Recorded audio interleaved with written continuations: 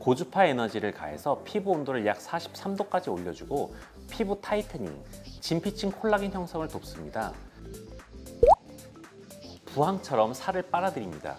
이렇게 음압을 유지한 상태로 전기 자극, 고주파를 주어서 지방 세포를 사멸시킵니다. 지방 분해와 tightening까지 모두 되기 때문에 리프팅 하면서 얼굴 라인까지 정말 예뻐지길 바라는 분들에게 아주 좋습니다.